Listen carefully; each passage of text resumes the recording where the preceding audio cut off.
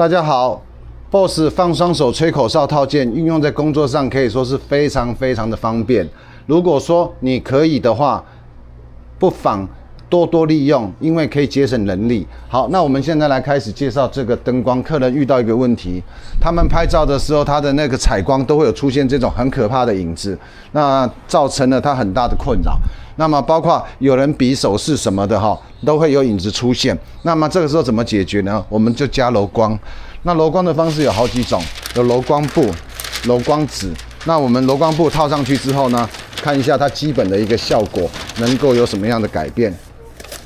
那这个布做的尺寸非常的紧哈，非常的严实，所以要稍微注意一下哈。好，那么我们刚看到的那个柔光的效果呢？刚刚是硬光，我们现在柔光。好，各位看一下，影子就变得不一样了哈，影子就柔软了，比较 soft。但是要做到全部没有呢，要就要牺牲一下光源，再加上这种哈柔光伞。柔光伞加进去之后呢，影子几乎就消失不见了。但是它需要的深度呢，场地呢，就会变得比较大一点点哈，需要一点点距离让它产生效果。那另外一个方式呢，就是在简定简单一点的方法，就是用这种柔光纸，好，柔光布再加柔光纸。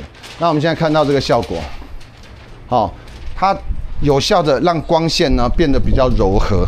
那我们这边再继续加下去，我们一张一张加，好，来看看它的结果会有什么变化。这眼非常的刺，五百瓦，好，再加，多加个几张看看，一次给它加到底。事实上还是要距离啦，因为这个还是太近了，能够挪个大概一公尺左右，那个效果超好的。可是现在呢没有办法，我们那个客人他的前面是玻璃，那我们只能用这个，请那个装潢公司或者是我们去贴这个东西哈，哎，效果就出来了哈。那但是到这里就不行了哈，好，整个都是柔光。好，这个效果应该很显而易见，很明显，效果有出得来。好，那我们现在要再把它撤掉，把整个撤掉。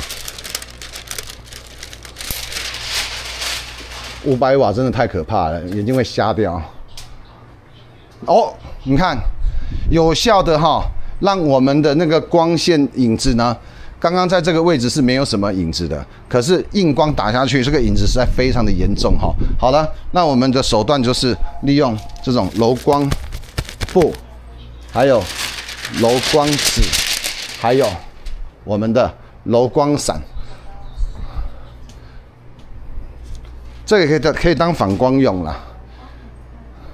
这个就非常的明显了，这 小小的一把很便宜的伞呢，却大大的有作用哈。好，谢谢大家。那么，如果遇到你的采光照明呢，在拍摄时候呢，出现了大量的影子，不妨利用这样的一个手段。谢谢，停止录像。